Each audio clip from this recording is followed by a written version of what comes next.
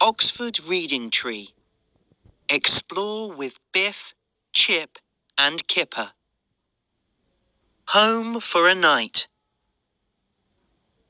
Series created by Roderick Hunt and Alex Brychta.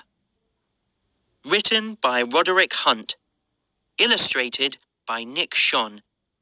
Based on the original characters created by Roderick Hunt and Alex Brychta.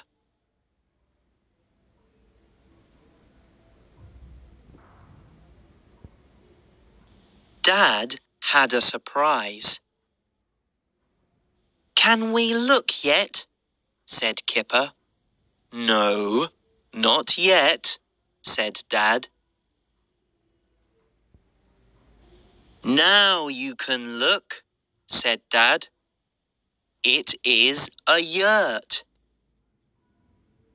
How fantastic! It is a home for the night, said Biff.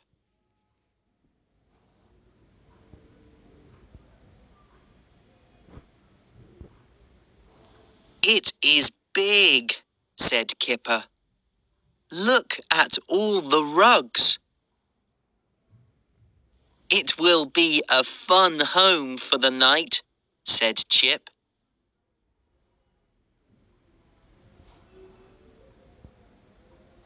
This is a surprise, said Biff.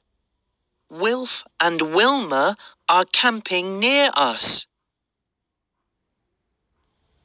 Mum saw a flash of lightning. Quick, she said.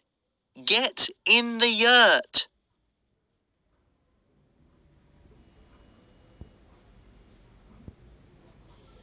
It was a big storm. Lots of wind and rain, said Kipper. Will it ever stop? The storm did stop, but the tent was a mess. The things are all wet, said Wilf.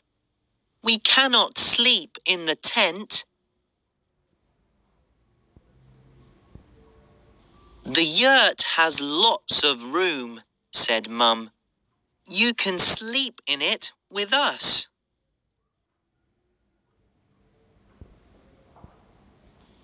This is such fun, said Biff. We can chat all night. Hush, said the mums and dads, or we will never get to sleep.